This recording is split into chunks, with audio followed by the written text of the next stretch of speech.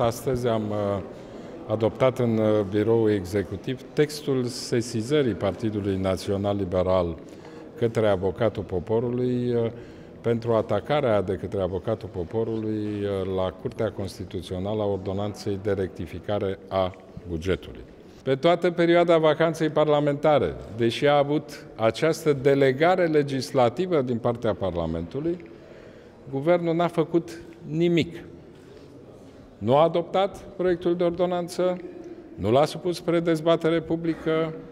nu a ținut cont de observațiile Consiliului Fiscal și, în general, nu a fost preocupat de rectificarea bugetară absolut necesară. Prin rectificarea bugetară făcută, s-a trecut peste avizul care trebuia dat din partea Consiliului Superior de Apărare al țării, punându-se în pericol siguranța națională a României și buna desfășurare a unor evenimente internaționale în care România este implicată. De asemenea, nu s-a ținut cont de obligativitatea existenței avizului Consiliului Legislativ. Nu în ultimul rând, în rectificarea bugetară, guvernul nu ține cont de situația economică reală pentru că în continuare bugetul este construit pe niște baze false, mă refer la cursul leu-euro, care nu mai are nicio legătură cu realitatea, mă refer la creșterea economică, care se pare că nu va depăși 4% și în continuare, la baza elaborării bugetului, se estimează o creștere de 5,5%.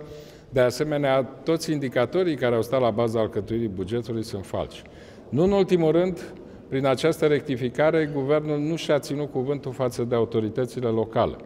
După ce au jefuit autoritățile locale, luându-le peste 5 miliarde de la impozitul pe venit și peste 2 miliarde de la transferul din TVA, practic guvernul care a promis că va reface bugetele locale la nivelul anului 2017 nu a alocat către autoritățile locale decât un miliard de ron, bani care nu vor fi suficienți pentru autoritățile locale care au proiecte de investiții în derulare, care au probleme cu plata salariilor, care au probleme cu plata serviciilor publice absolut necesare pentru buna funcționare a localităților.